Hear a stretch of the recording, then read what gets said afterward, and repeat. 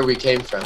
We uh, worked with our uh, application programming interfaces, and this was allowing us to connect a, uh, a our Python script with a server that was dedicated or that was explicitly designed for providing structured data in either JSON or XML were the two ones that we worked with mostly to a client system. That is awfully handy uh, when an API exists. In situations where the only way that we have access to the information is via a web page designed for a browser, uh, the Python world and uh, the Python has actually become a language whose web scraping modules are um, cool enough that it's become a very common data data um, data pipeline process is saying, well, I can write code that acts like a person in a browser, but is actually a Python script. And so that process is known as web scraping because we are going to be interacting with data that was not explicitly designed for a Python script, but rather designed for a browser tab. And that involves a direct interaction with the raw source code behind a web page. So what I'd like to do for about, um, probably take about a half an hour, is give you a crash course in HTML fundamentals and actually design a very simple web page so that you can see how it works and then we'll try scraping it and interacting with that uh, library called Beautiful Soup. Um, so what I'd like you to have open is our web scraping module right here. Um, and again, I got there by reloading my schedule page uh, by hitting F5 on Windows and Linux, hitting web scraping, and then um, I've got the main resources we'll be working with um, are right here. So what I want to direct you to is uh, a couple of key resources. The first is, I'm, I'm sorry that the order on these is not the, the most ideal from a lesson structure, is the Mozilla Foundation's Learn Web Development page. And I, I right-clicked or middle-clicked to open in a new tab. And then for those of you that are techie, um, RFC 2616 is HTTP 1.1, the actual specs uh, uh, that we are currently on. Oh, wait, did I not update that? Oh, no. That's a broken link. Let's see. Well, now we got to learn how links work. Um, hypertext 1.1. Okay, let me jump in here. So let me update this quickly.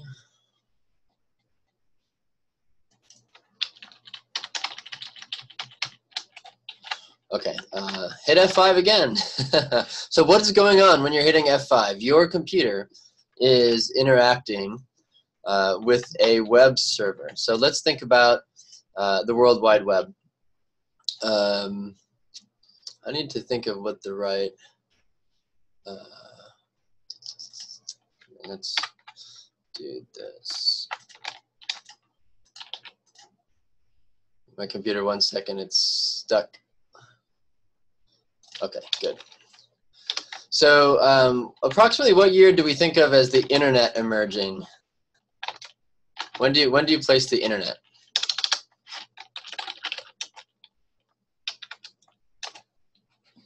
When did we start having computers talk to each other?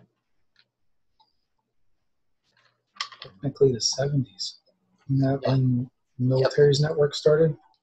Yep, late 60s, early 70s. So definitely um, by the early 1970s, we were having computers interact uh, in the sense of we could um, we could connect um, connect computers running compatible uh, operating systems uh, to one another. And so this often involved uh, remote logins uh, via a um, via a dedicated data network. Um, so the important thing here was that these were uh, this was a highly coupled system or a strongly coupled system, meaning when your network, when your computer was on the internet, it had to know exactly how to interact with the operating system of its compatible system. So there was um, uh, there were sub sub networks uh, which were very incompatible with one another. Uh, because they were running different operating systems, they were on different hardware architectures, and they and for that reason they could participate in the same physical data layer of the network of connected over copper, but they were unable to talk to one another. Um, it wasn't until the uh, late 80s and the early 90s that we came up with what, or I shouldn't say we, when a group of computer scientists and physicists emerged with the idea of the World Wide Web. Um, so the World Wide Web is an is an early 1990s phenomenon. So we would say that the web is a um, the web runs on a protocol, runs on a on the hypertext transfer protocol, uh, which is a subset of the internet with a capital I. Um, so what we're talking about is a technology that is part of the internet, but is a particular protocol on that internet, which is how do we transfer structured text on uh, from computer to computer. And so this jumps us into history. So um, uh, the actual first web server and the first protocols, the first tests of the protocols took place in Europe, in CERN. Um, I used to be quite an interested person in physics, um, and so let's uh, take a take a trip uh, over to Switzerland. Um, and physicists are quite a tenacious bunch.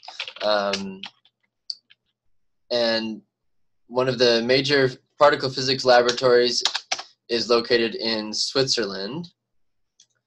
CERN Labs, there it is. So the CERN building, we are over here in Switzerland. Uh, look at all those are the pretty mountains. Um, put your hand up if you've been to Switzerland. Has anyone been to Switzerland?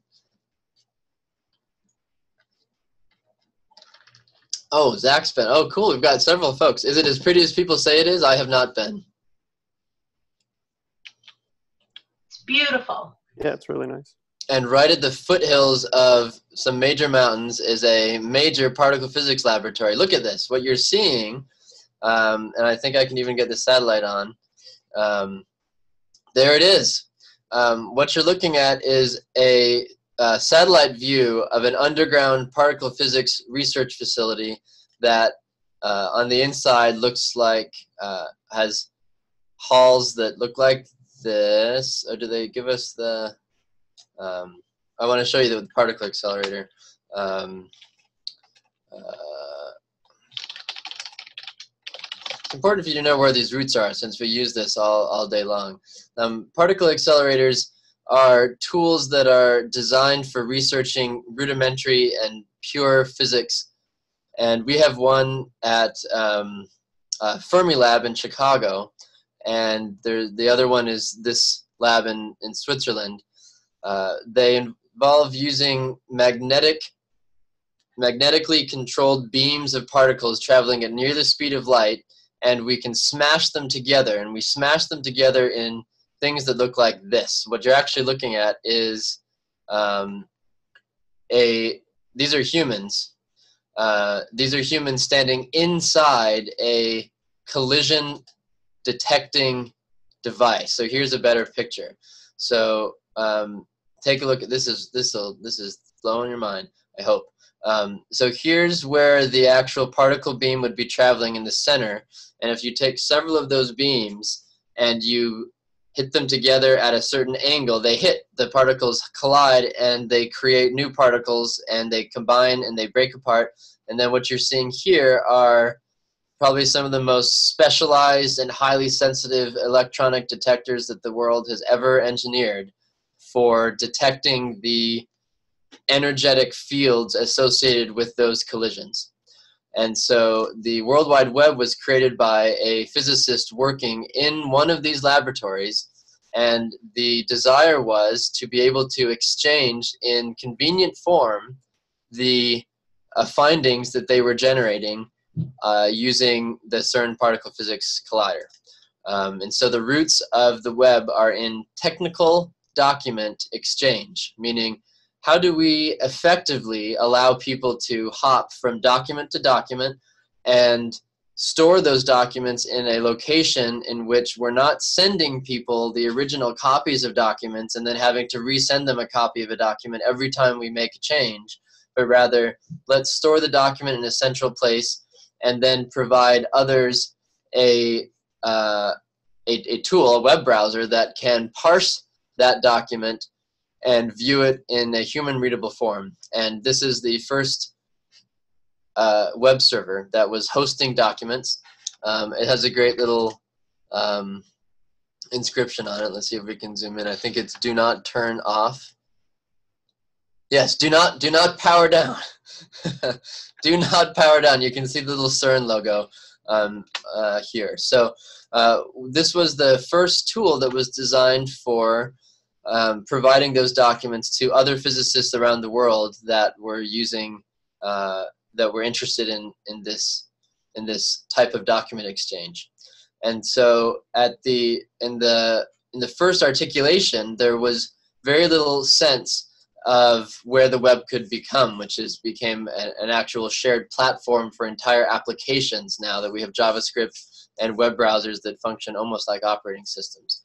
Um, and so the World Wide Web rests on a protocol called the Hypertext Transfer Protocol, which specifies a way of creating tags and de declarations around content for how that content should be displayed and how that content should be transferred between systems. Um, and so what I'd like to do is actually invite all of us to make a very simple web page and see how a browser works uh, in this regard. Um, and so uh, what we'll I'll ask you to do is open your favorite text browser, text editor. It could be your, if you're using Spyder, you could certainly use Spyder. Um, I'm going to use uh, Sublime Text since that is my preferred editor. And what I'm going to ask you to do is have open that, uh, that link to um, the Mozilla Learn Web Development. So again, I got there by clicking on my Mozilla Learn Web Development page.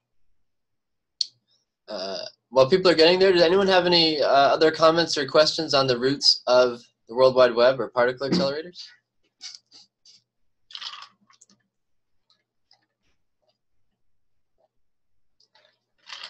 Okay.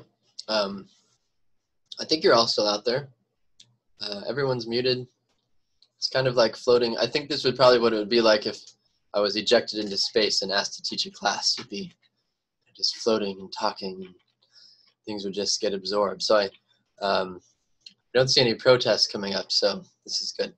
Um, so for your juggling reference, screens. pardon?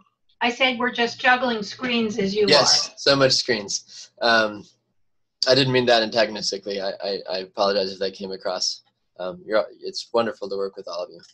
Um, there are um, the Mozilla Developer Network and the Mozilla Foundation is the organization that has assembled and has become the I think it's probably not a formal role, but they are they are the the organizing lead for maintaining documentation on the current status of the hypertext markup language, which is what HTML stands for.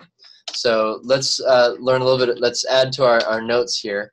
Um, so we would say that the World Wide Web runs on HTTP. So HTTP is the hypertext uh, transfer protocol.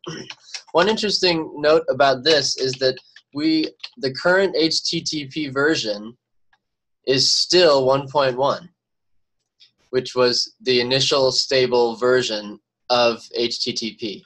Uh, and uh, I remember growing up, my father worked. Um, uh, he worked at IBM doing support for um, uh, chip design engineers, and he would always say, "Oh, uh, computers change too fast. I, it's so overwhelming, and things are always moving and changing." But consider that a computer running in the CERN lab in 1991 uh, or early 90s, running HTTP version 1.1, would still be able to communicate perfectly well with any other computer on the web today in 2020. Uh, and so this is, I guess this is 99 release, so I, wasn't exactly right that it was the first one. Um, no, Census Initiative in 1990. Um, so to think that this was a standard, this, this was well thought out enough that the original standard has not changed uh, in 30 years is a is quite a testament to uh, the foresight that this particular group had. Um, and so we're working with a technology that is extremely robust and extremely well documented. Um, so HTTP are, we would say that this is, uh, we could think of HTTP as the uh, rules for transmitting uh, data on this network.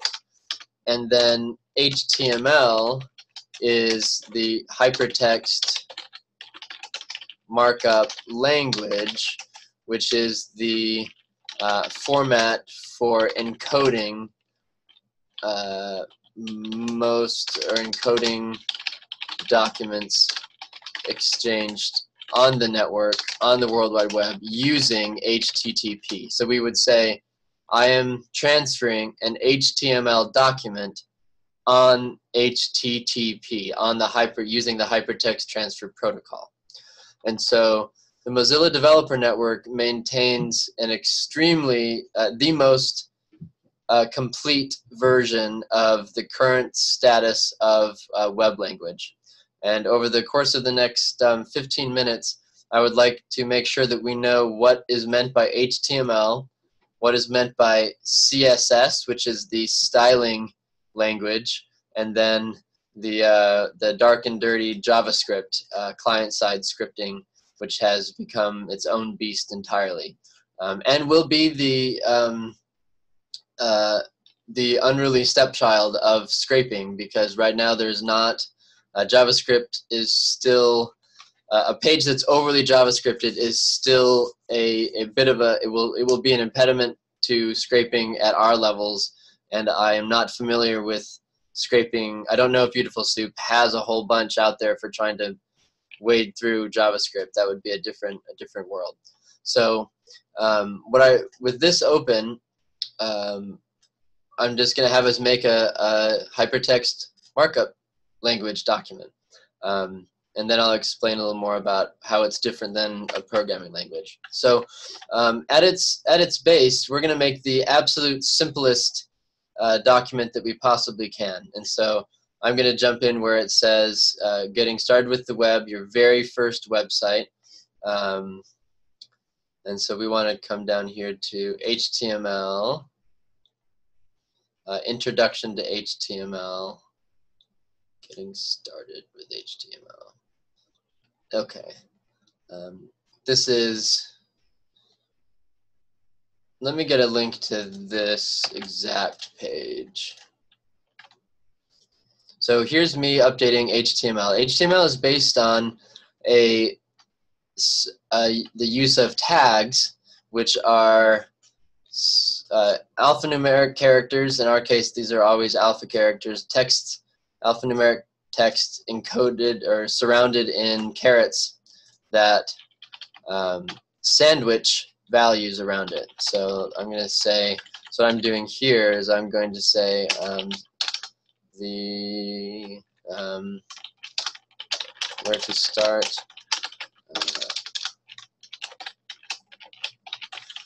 So what I'm doing is I'm surrounding, I'm going to make a link. So what I want is I want the text HTML basics to become a link to this page. So what I did was I grabbed the universal resource locator, which is a major specification, a major part of the hypertext transfer hypertext transfer protocol is how do we encode the location of documents uh, on the web. And you have enough experience building URLs for your API uh, that you're familiar with how uh, how important it is that those are exactly right. Those are pathways to a server, and then once we get that information to the web server in this case, the rest of that URL is parsed by whatever the insides of that server may be to get us to a document that we want. And so what I'm going to tell the uh, web script here is I would like this text to be an anchor tag. So A is the anchor, the, the um, tag for anchors, which are known as links. And then within those tags, we can specify attributes. So this is a key value pair. So this is hyperreference href, and then the key is href, and then the value will be this URL that I just grabbed. Um, and then I close out the the uh, attribute, and then I close um, I close the tag, the a tag, and then I'm going to uh, the a tag actually has an open and a closing, or the a element has an open and closing tag. So I'm going to surround the words HTML basics with the anchor tag. And my closing tag is the same as the opening tag, but with a leading forward slash before that same tag name without any spaces.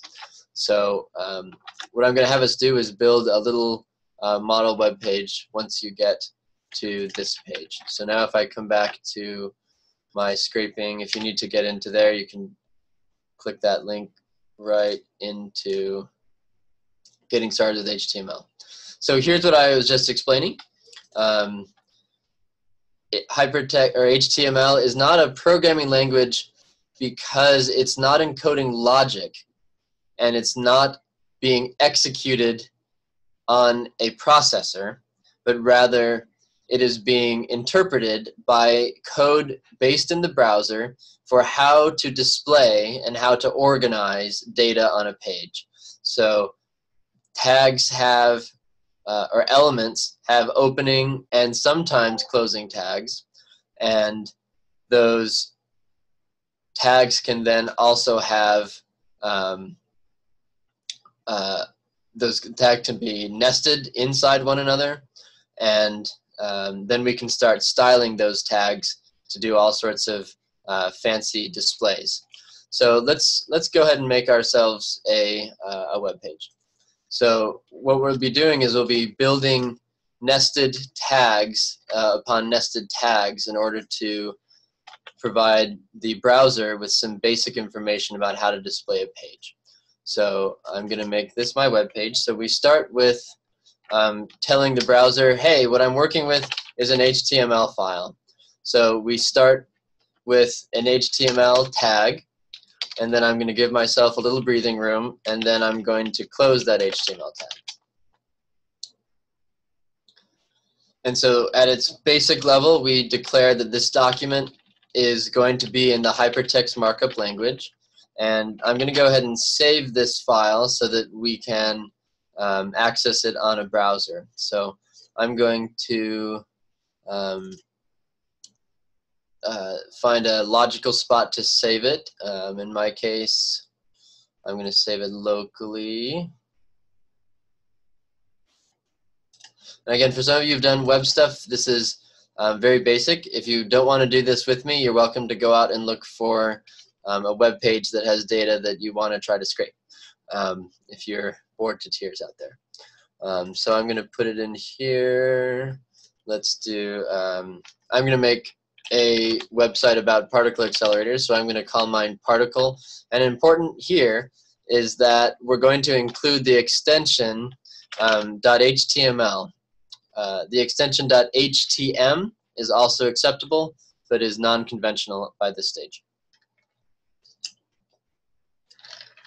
So I'm going to name my file. It's important that it has a .html extension and um, save it somewhere that you can find it again. So now on, on my Sublime text, I uh, it has no it has um, picked up on the .html. Look how smart it is, and is now um, shading with me, uh, giving me some uh, syntax shading. Um, so within here, we've got a, uh, a head element. So we start by, um, we're going to have everything nested. So because my head element is inside HTML, that's going to get indented. And in my text editor, I can easily do my closing tags just with a, um, an alt period if you're using Sublime. Um, so we're going to start by giving our uh, website a title. So you can either uh, work with me or it'd be more interesting if you want to make a, a simple website about uh, a content of your of your interest. So um, I'm going to call mine particle physics.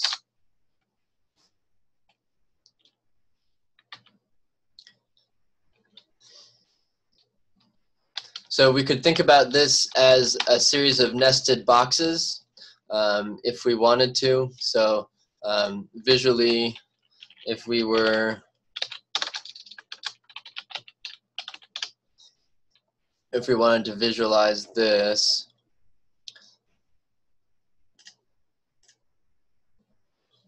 uh,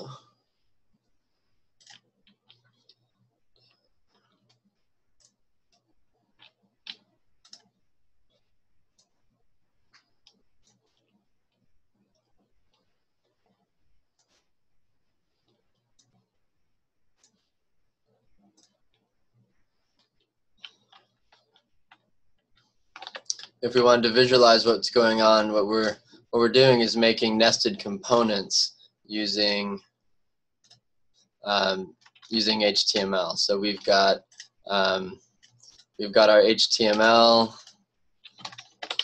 document.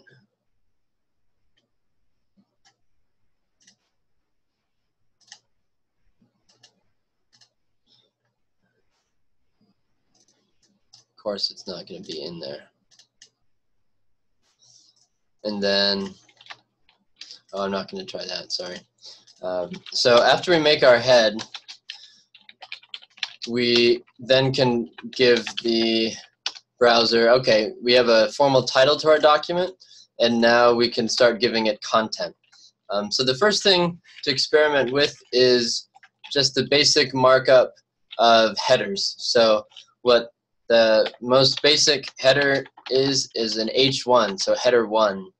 And what the HTML specification allows us to do is uh, engage in a whole set of basic document formattings without having to worry about exactly how this heading is displayed in your browser, but rather to say, I don't care exactly, you know, this isn't PDF, this isn't, um, this isn't final copy for Time Magazine. This is saying, I need it to be bold and I need it to be pretty big. This is the top header. So I'm, um, we could say, a journey into particle physics. Um, and so I want you to experiment a little with uh, how the headers work. So we've got headers going all the way down to level 8. And so um,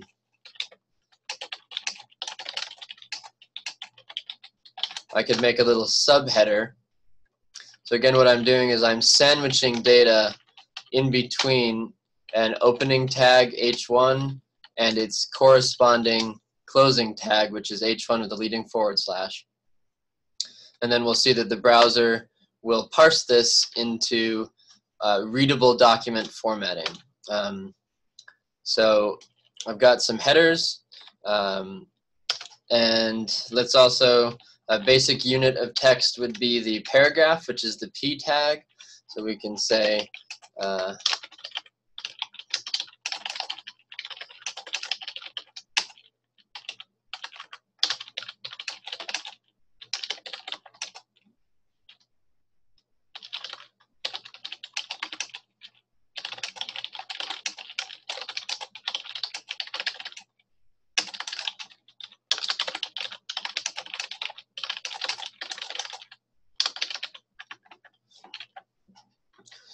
I just want you to have a little bit of content, and then we can start playing with uh, the other parts of HTML.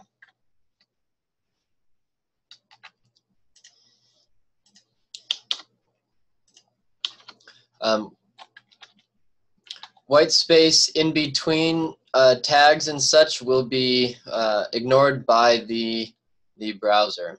Um, so now that we have a little bit of content in here, uh, we can then feed this into a browser. So this is kind of fun because um, ordinarily in browsers we are used to uh, navigating to a website.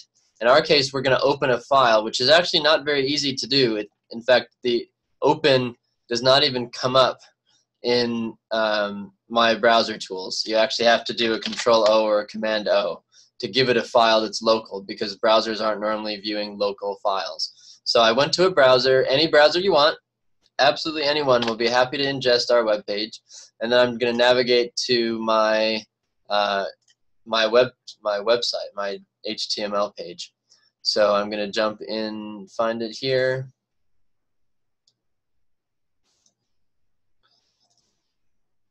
Ah, look at that. So as soon as you have uh, made a page and open in a browser, um, please raise your hand on online on your Zoom.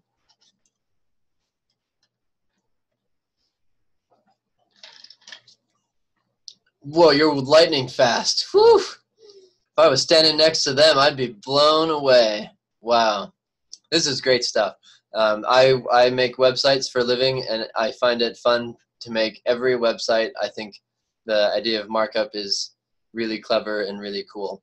Um, so as you're getting to that point, I'll just um, excogitate for a little bit.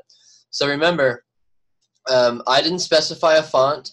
I didn't specify a font size. There's a whole bunch of um, there's there's actually the the base style sheet is embedded in each browser. So some of you, I bet I would I'd put money that uh, um, Safari does not default to this serif font uh, on their classic style sheet.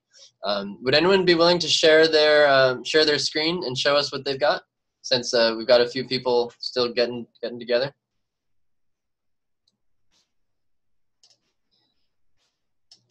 Those of you that rose your hand, would anyone like to like to share?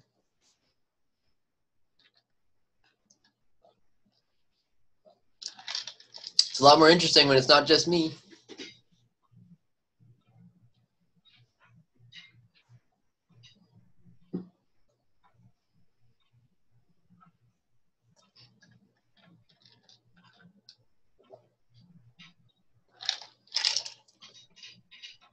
Eric, want to share? Brandon? Alex?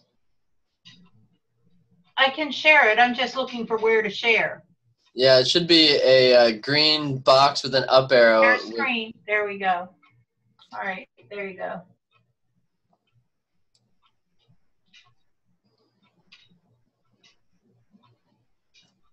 And here comes Paula.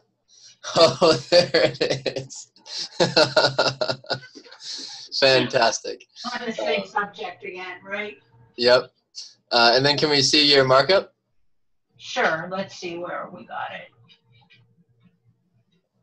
The rice and bean pair, half the world. Open with, okay, with, choose another app. Okay. All right, come on.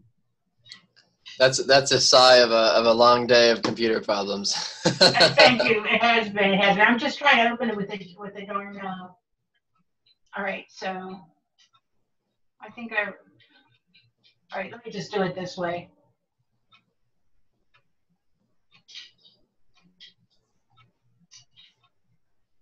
Oh, come on. All documents, all files. And I named it particle. Whoops. There you go.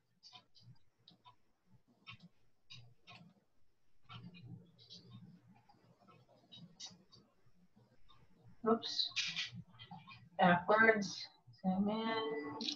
I give up. Anyway, that's what you got. Thanks, Paula. No problem.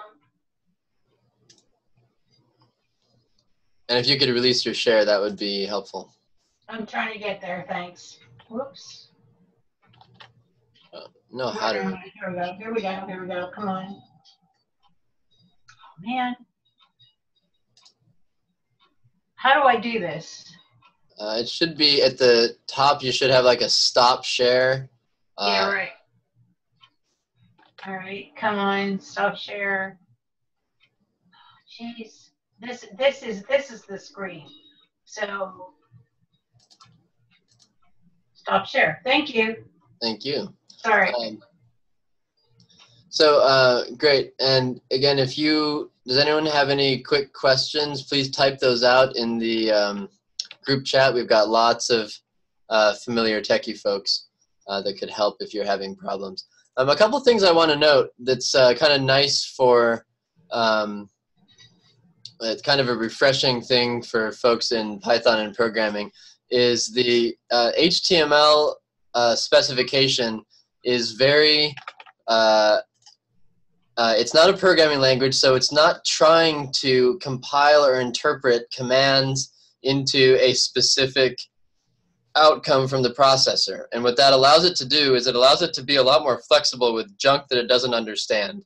And the html standard is if i don't understand it take a best guess.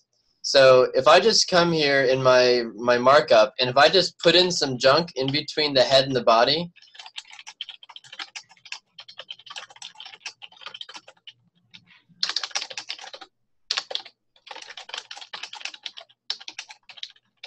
so if I just put junk in there, if you just put junk in Python, it doesn't work.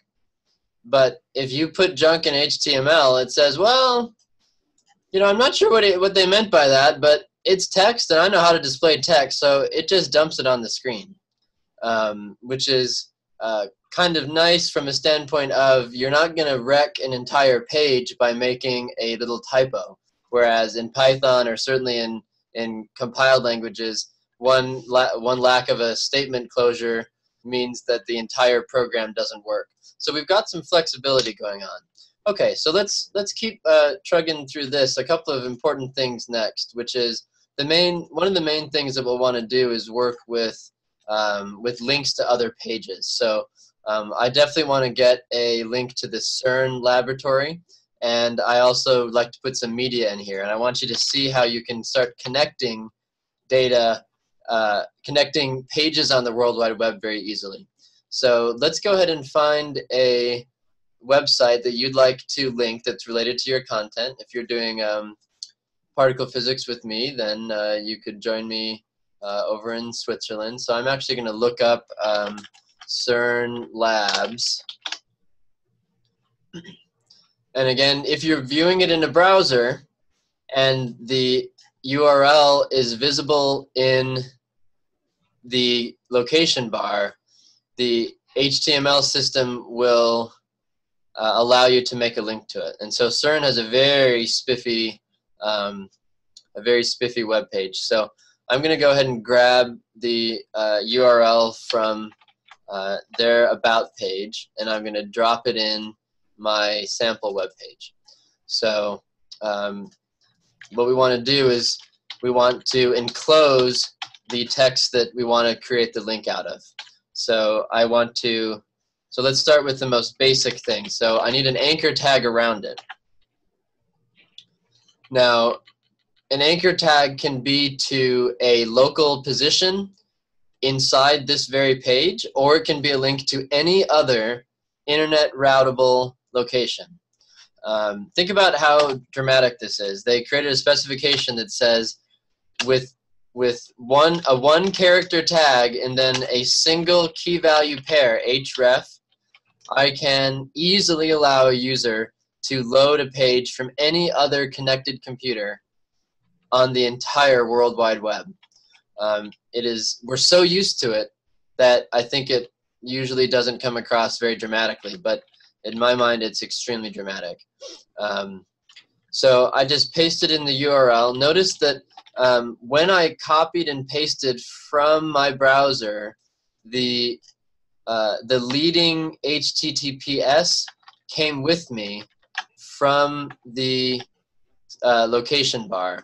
Uh, browsers and computers have been trying to hide things from users for a long time, and one of the things they hide from them is HTTPS colon forward slash forward slash. I think they have a belief that people will will like go into seizures or break out in hives if they see a forward slash and then another forward slash. What does it mean? Um, so it's very, in my mind, it's sad that we don't have enough faith in users that they can they can read this uh, to see that this is in fact a document uh, accessible via the hypertext transfer protocol over encrypted networks. Um, that's that's in there and it's encapsulated by that little um, the little lock tag which gives you access to the certificate. Um, but it, it, needs to come along with you. So if it didn't come along with you, you'll need to add it. Um, so notice what I did. I um, added it as an attribute. This is all inside that anchor tag. That first anchor tag includes the hypertext reference.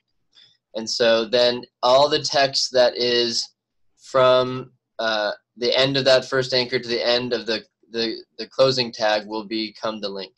So I'm going to save that, and then I can just come right back to my sample page, which is here, and hit our best friend, F5.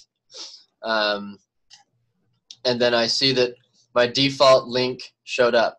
So again, your browser has embedded in it a default style sheet for how do I display a link? Well, it's going to underline it. And because I have visited CERN, it sees it in my history and it made it purple. Um, so this is a visited link. Um, so I can, I always want to test it. So I'm going to click it. And there I am at the CERN page, which should load faster because I just loaded it. Um, so let's experiment with a little bit more with um, uh, uh, tags. Um, as programmers, sometimes you may want to clean up your HTML a little bit. So remember that um, return characters in your markup are not automatically interpreted as such by your browser. So if you want to make uh, code that's easier to read, um, you can insert more breaks in your code so that it's easier to see uh, your, your markup. So I'm going to put some extra space in there um, so that my anchor tag can be can be dedicated. Um, so I would I'm just going to put all that text in there.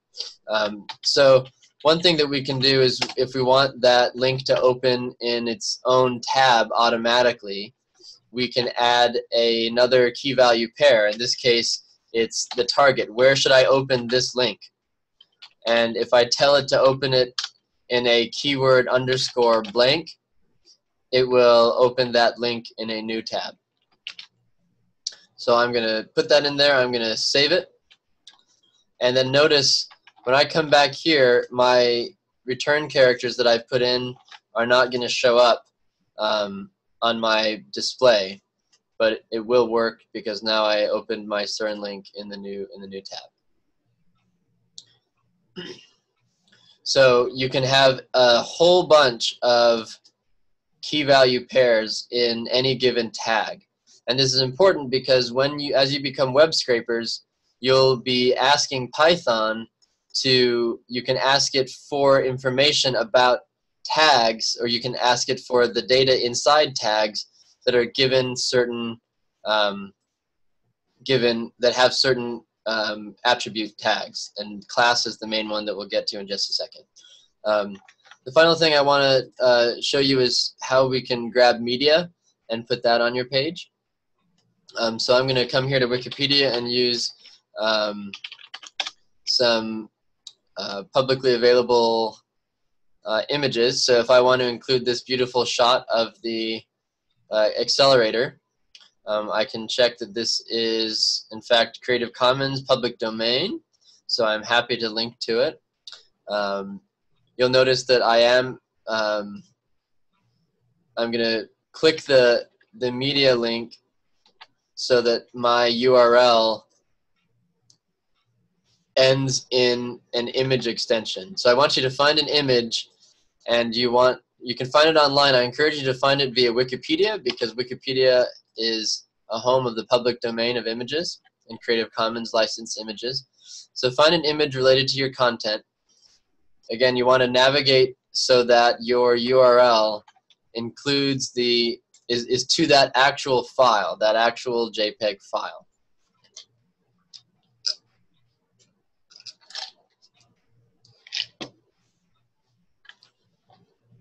And then I'm going to grab that URL and um, I'm going to stick it right underneath my paragraph.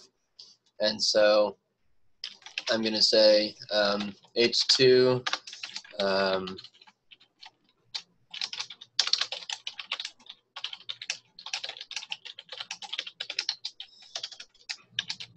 And so now I'm going to use an image tag. An image tag is an interesting one because it doesn't need a closing tag. Um, it's what's called a self-closing tag, and I'd have to read the specs. You don't. I don't include the closing backslash because it doesn't have to be there. Um, so what we're going to say is, hey image, or hey browser, I've got an image for you. And browsers say, ah, I know images. Um, which image do you want? Well, I'm going to tell you the source of the image is actually going to be the World Wide Web. So I'm going to say, um, this is my image tag. The source SRC is a image file found anywhere online.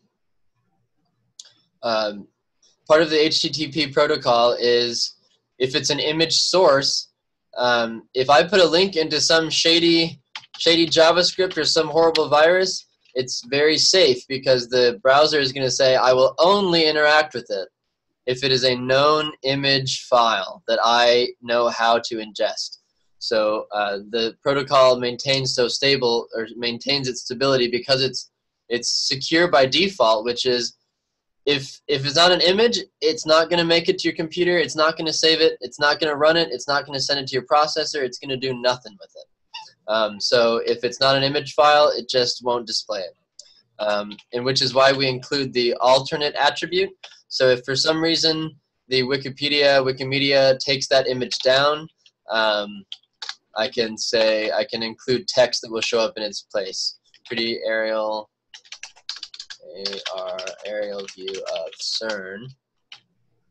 And then um, it's a good practice to give an image a width or a height. Um, you generally don't need both because it'll end up changing the dimensionality of the original image. So if you give it one or the other, it will uh, keep the original size ratio and scale it to whichever you specify.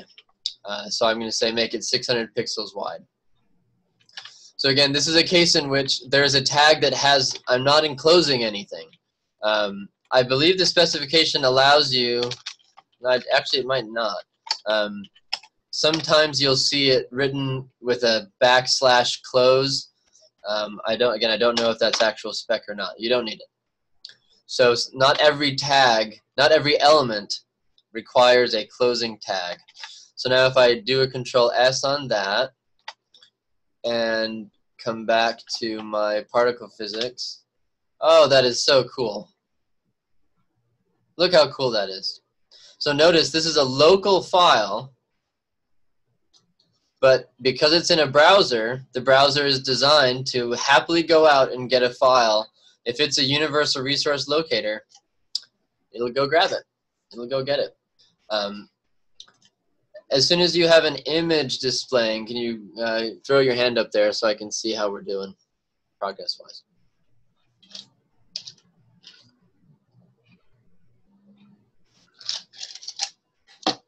You're all so quick.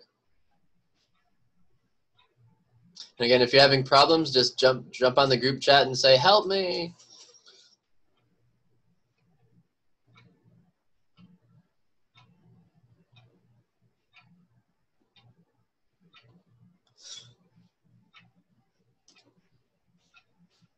Does anyone have any um, troubleshooting things that I might be able to help with as a group that might be catching people up?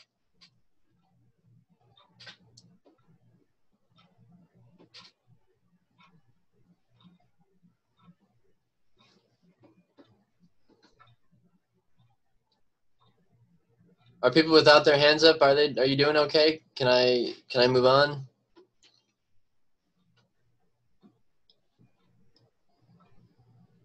Getting there.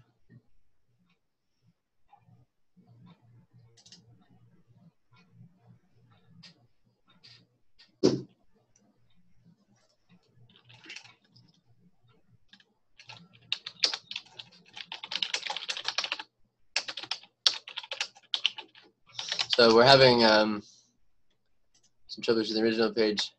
Always loads first, then the image. So um, one thing to check is check the URL. It might be the case that you have linked to this page, which is the wikimedia.org CERN media file. I have a feeling that you probably are linking to that one. Um, and that's that might help with Drew's. Okay, great. Um, so if your if your photo isn't going, uh, checking the URL is fine. Um, it's not critical that you make it go as long as you see that there are tags. And the reason I mention this is that it you might be wanting to grab um, image source tags uh, from your scraping. So I think it's it's good to to try that.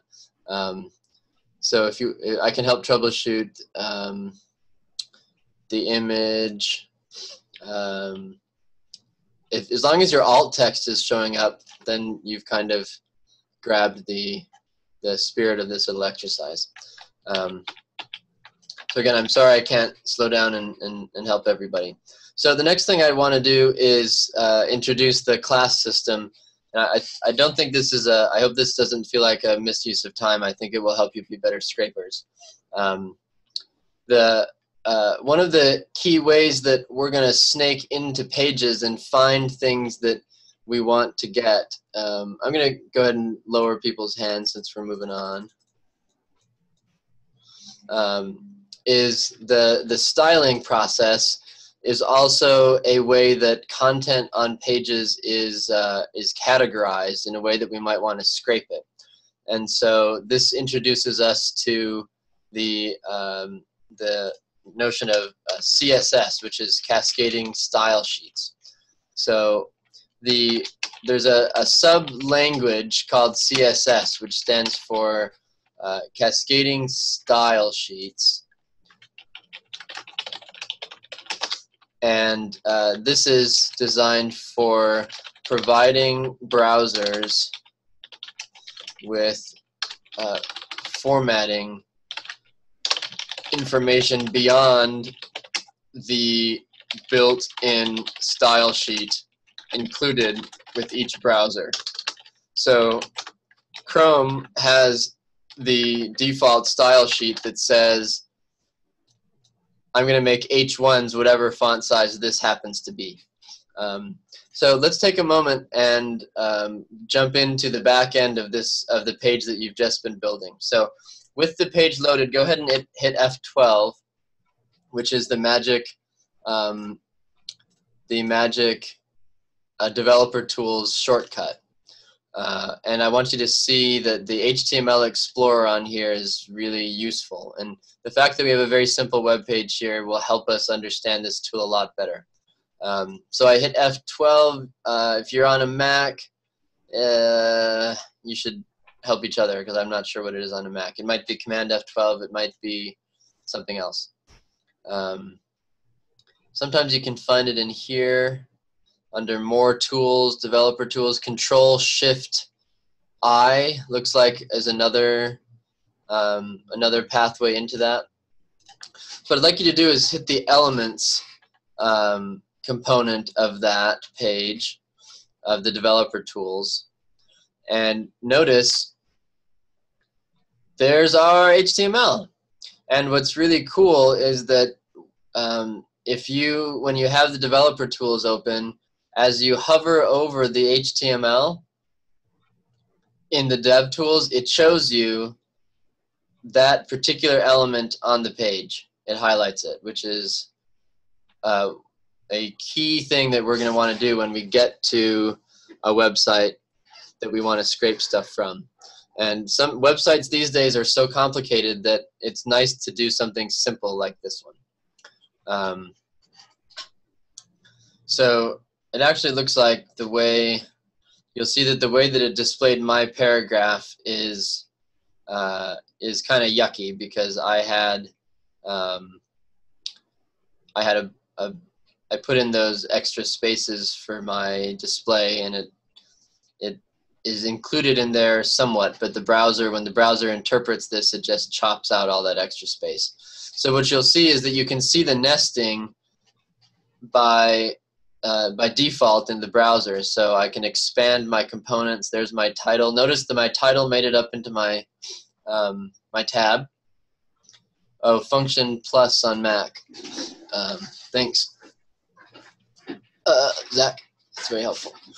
Um, so one thing that I want you to note is that everything on your page is, is a box. Um, it's almost it's its base level model is called the HTML box model because what you're seeing is uh, if you click any one of those tags, I'm going to zoom out a little bit here on my DevTools.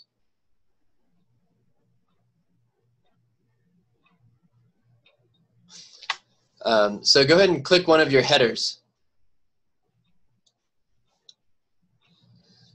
And over on your right, so uh, one thing that I did that might be helpful for you is I changed how I'm displaying the dev tools. You might find it useful. I think most of you probably comes up like this. Um, I would suggest jumping down to the settings and then I, I just like to uh, pop it out. So undock to a separate window. So now these are linked at the hip. Um, so look what we're seeing, that this header one has these display characteristics. So what we're seeing, I think I showed this to you before when we worked with dictionaries, which is, look what we're seeing, key value pairs. These are the specifications that were built in from the default user agent style sheet, which is me in my browser is the user agent. So the browser came with this pre-embedded thing of saying header ones are font size 2em, which is roughly twice the size of a non-header font. Um, notice that it comes with these margins, which are the uh, which is shows up on my computer as the tan outline. So these are the basic uh, formatting uh, display components that were specified by the browser default. But what CSS does, CSS, this is CSS over here. CSS is the tag names. This is called a selector. It's the tag name and then a list of rules for how to display any H1 tag. And you can see that on the developer tools, I can tinker with this so if I come to element.style in my dev tools, I am adding um, style information. The reason it's called cascading style sheets, if you imagine a cascading waterfall that starts at the top and then the second tier is only including what comes down from the top and so forth. So the way it works here is the CSS that's lowest down on this list uh, is overridden by anything that comes higher in the list. So if I, I can override the user agent, so if I, if I say font size colon and say 6em, whoa, whoa, ah, look at that. So what I just did was I wrote some CSS and look, it crossed out the user agent style sheet because I have a higher precedence selector, which is the element itself. I gave, this is saying all headers get a font size of this. And then what I just wrote is saying, no, no, no, this particular H1 is 6em. And so an element specific styling always overrides a, um, a tag specific styling. So um, we can all of the CSS is at our disposal, including uh, color, which is font color. Um, CSS has built into it a bunch of human readable colors. Um, it also has built into it the ability to work with any hex color you want. So if I say um, 45, 73, 23, I can get some sort of weird green color. Oh, it's not even that different from what I just came up with. Um, this is RGB. So if I do Um, if I do everything on, I get black. If I do um, 10, 10, 10, that's also, anyways, you can do color. Um, an important thing that we're going to see is um, we can declare classes of styling uh, that is very common in scraping that we'll want to use those. So notice that I have, if I come back here and I refresh the page, what I entered in the dev tools is gone. So what we actually want to do is specify this in the actual markup. So I'll come back to my particle HTML um, and what we're going to do is we're going to include uh, styling information inside the head of the, the document. So we're going to add a tag here, um, the style tag. And um, let's, uh, let's go ahead and make a, for the sake of this exercise, let's make a list that we can color in different ways. So I'm going to say, I'm going to make another tag. So based on your content, find something that you can make a list out of. So I'm going to say, uh, why learn HTML. So I'm going to uh, use a, uh, a unordered list, a UL. So an unordered list will become bullets and then I'm going to make individual list items that we're going to try adding some classes to. So uh, why learn HTML? Um,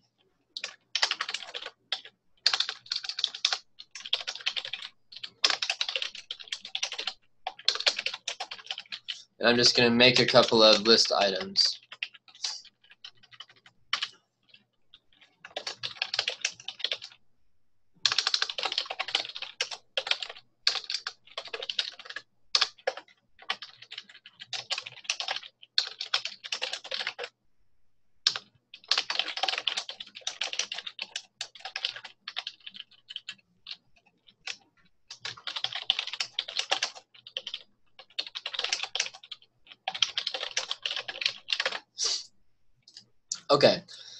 So uh, what I've done is I've made a unordered list of a few items. So I'm going to put that over here so you can keep working on that and see if it um,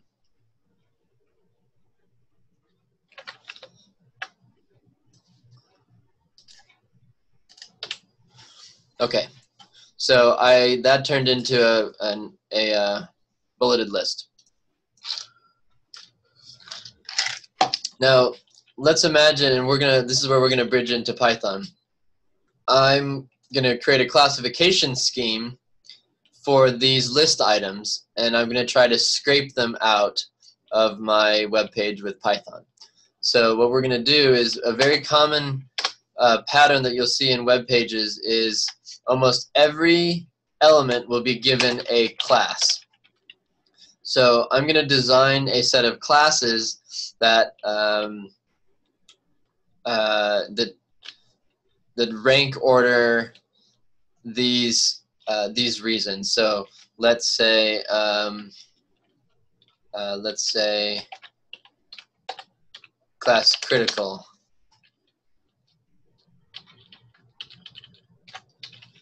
And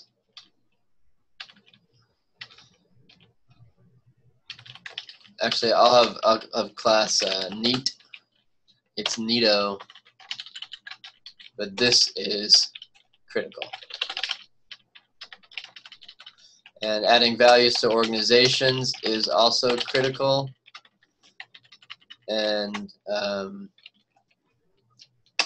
this is class uh, critical. So what I'm doing is I am differentiating my list items by putting them in their own classes. Uh, and now notice the HTML markup doesn't care what the class is. The class can be any valid characters inside of your class tab. What we'll, what we'll use is if we match up the class names, we can style it consistently, and then we can use the fact that they have classes as uh, a way to scrape. So I can add another list item. Um, so maybe this is because uh, playing with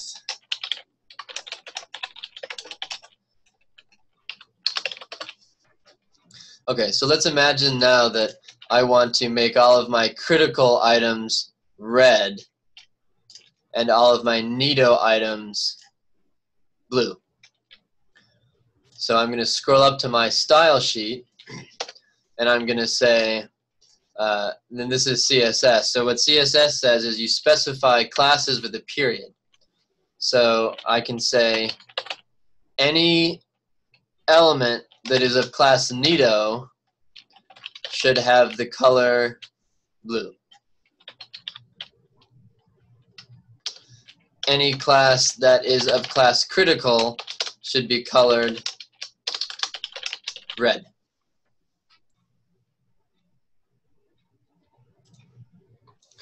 And so I'm going to uh, scroll this out. I'm actually going to flip these. So you can see that on one page. So now if I save this, look at that. Is that neat or what?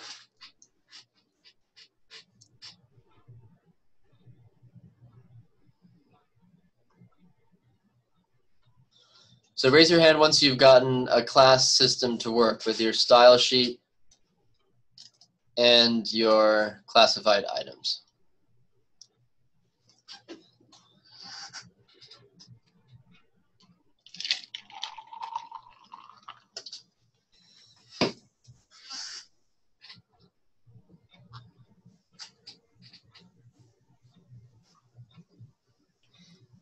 Great, and again, um, message out if you're having problems. Um, you'll see this is very meaningful because if without this primer, you will not be able to understand the documentation for Beautiful Soup. I almost guarantee it. This is neat stuff. Um, can if there's anything we can do to help, just let us know.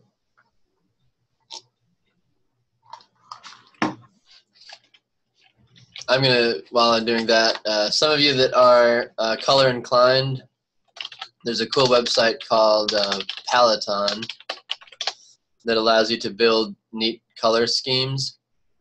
Um, so these are kind of, these are very 90s colors, but what if I want to come up with some neat, uh, um, let's have a better, like a better blue and a, So I could come here and say, can grab this color.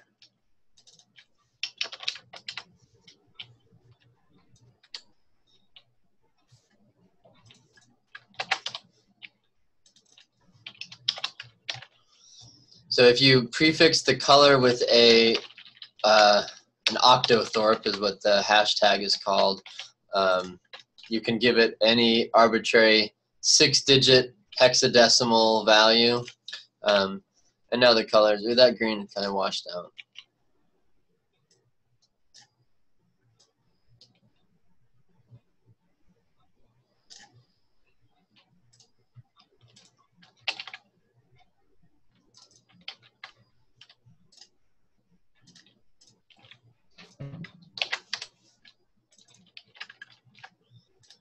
And so this is why people like web design because um, you can play with, you, you can start styling uh, infinitely, infinitely uh, specifically.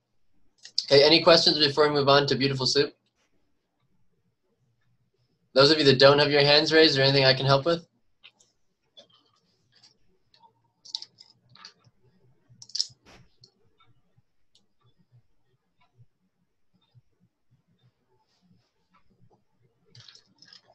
Great.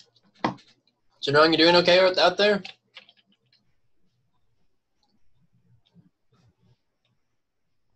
Oh, great. Okay, so um, now there's a library called Beautiful Soup that will allow you to read in an entire web page and grab individual elements in single lines of Python. So let's go ahead and give this a try.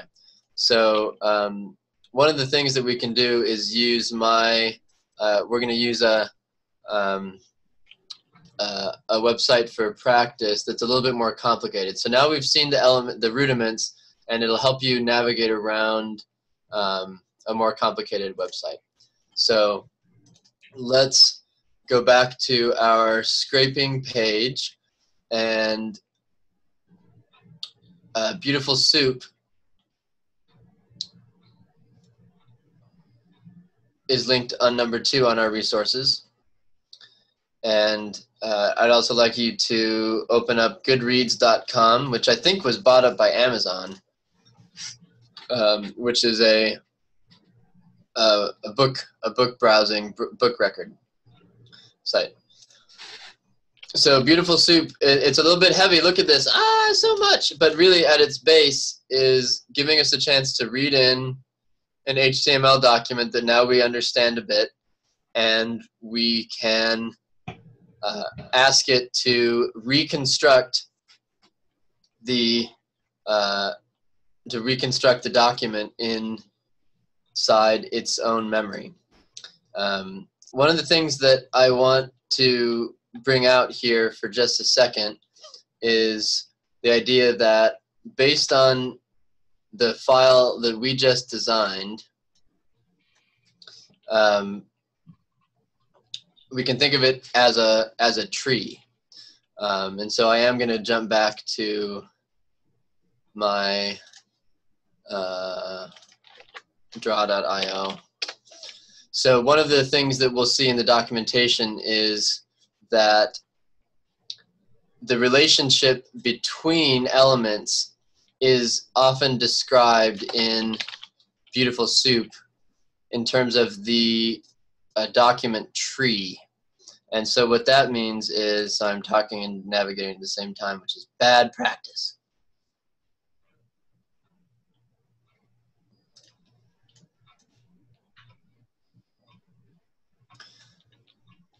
So uh, the way to think about this parse as a tree is the body of the page forms the root node of a tree. So we would say that uh, body is the root, and then every element that is nested inside of another element becomes a child of its nested parent.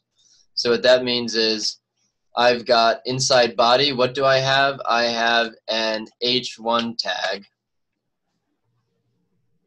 And is there anything nested inside the H1 tag? Yes. There's actually the way that Beautiful Soup will think about it is that there is a text node that we see only as text, but Beautiful Soup will think of this as a text node. So underneath H1's parent is text node that contains this text. So one of the things that will that you'll do in Beautiful Soup is you'll be asking it, go find me the headers and then give me the, the text inside of that header.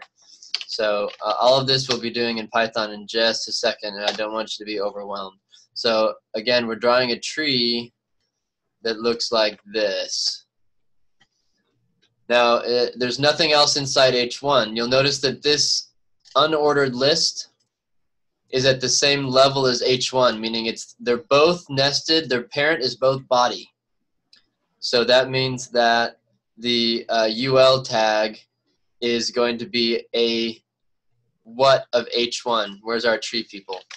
What do we call the UL? It is the what of the H1 in tree language, family language.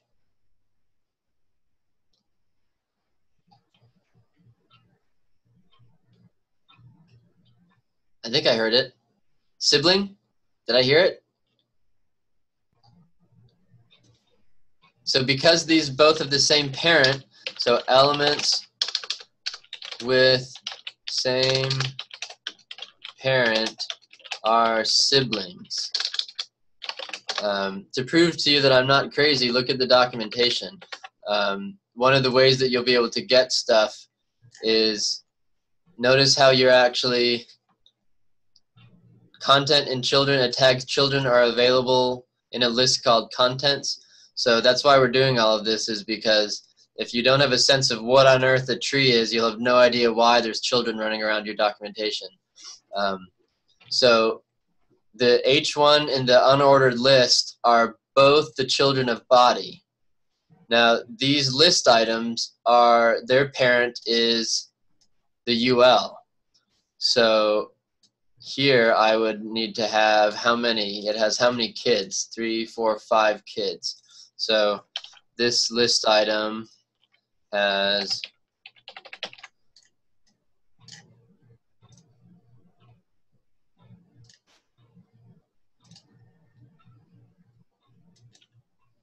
Oh, come on, you stupid thing.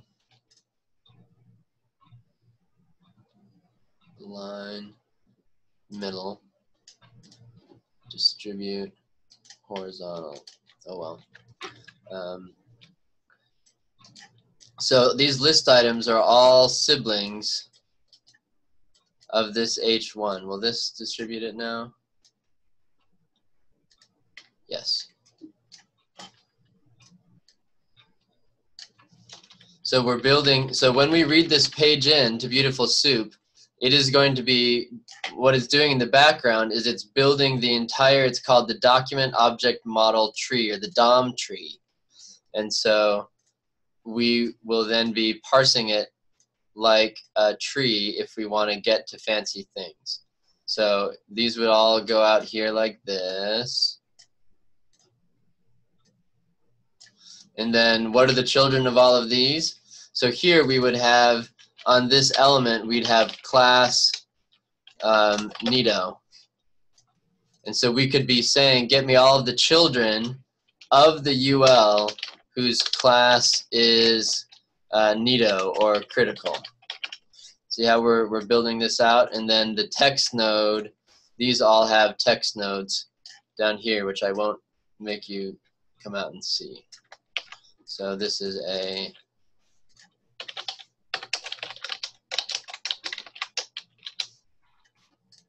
Okay. Cool. Trees are everywhere. Not just outside anymore. Okay, so what uh, what I want to do in Python is I'd like to see if we could use scraping to figure out uh, how what kinds of books are associated with a given keyword.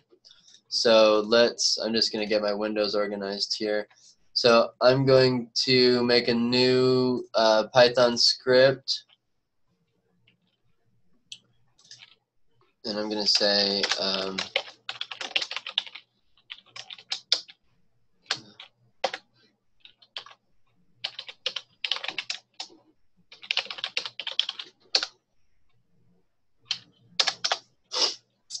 okay, so what I want to have now is I'm going to start by going to the website whose data I, I want to scrape. So let's just see how Goodreads works. Goodreads allows you to search by topic, so I could say virus. Mm. Boo, go away, Amazon. Oh, can't believe they do that. I can, I can believe they do that. Everyone does that. So uh, I just did a search. The first thing you want to do when you find a site is F12 and see what it looks like. What is does this? What's the HTML look like?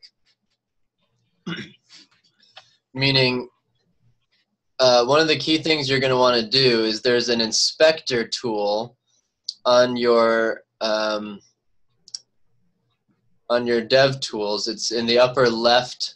It's also available with Control Shift C. So if I want to pull a list of all the titles of books that have the word that come up with the keyword virus. What I'm going to do is I'm going to start by clicking the thing that I think I want to scrape with Python. So I'm going to click that title and see what it looks like in HTML. So notice this is a much more complicated page than we built, and it's complicated because it's being built by a HTML parser machine and not by someone hand coding it. So what I'm looking at is, do I have classes that are um, that correspond roughly with something useful.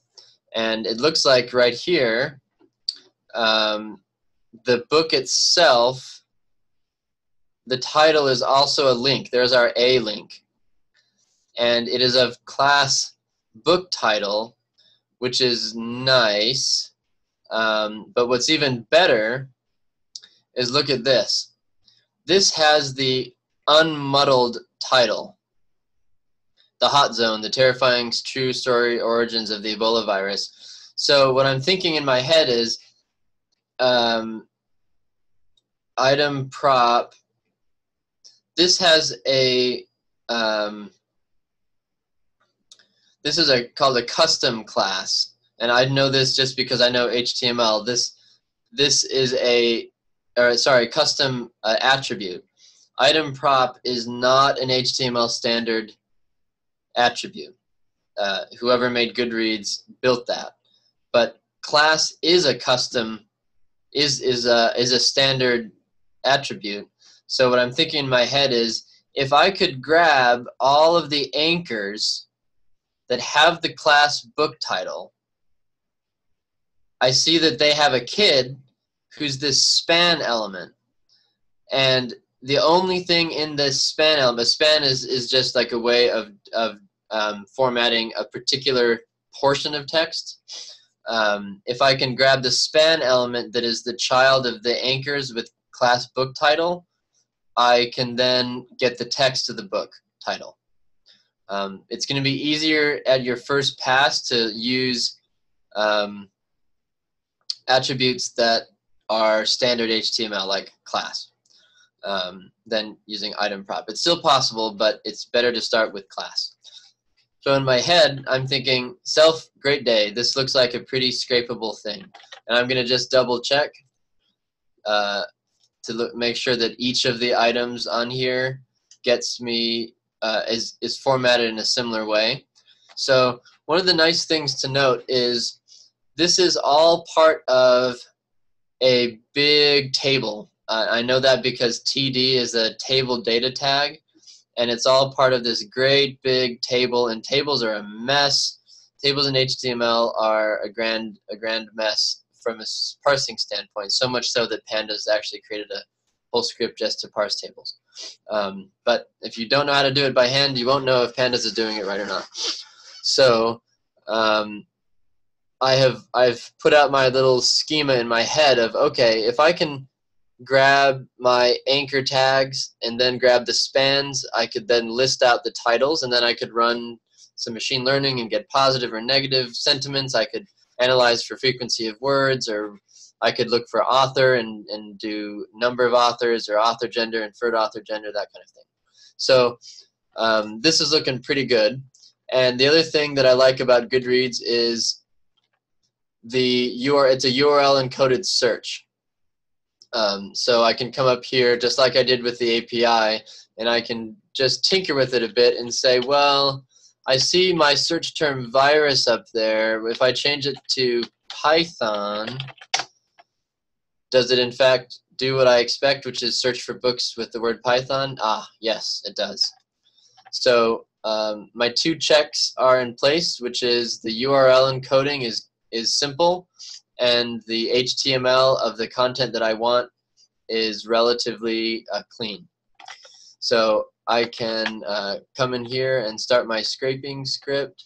So I'm just going to do a little uh, a little commentary here. So uh, scraping demo for DAT129 before scraping a page check. Let's do this.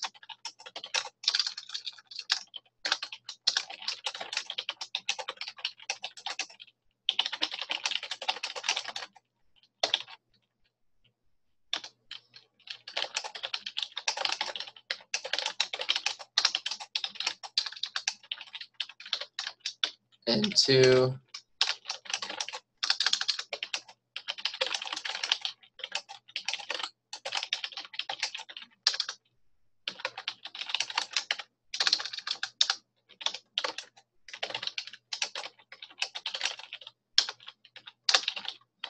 what I'm looking for is distinctive uh, class names or tag names.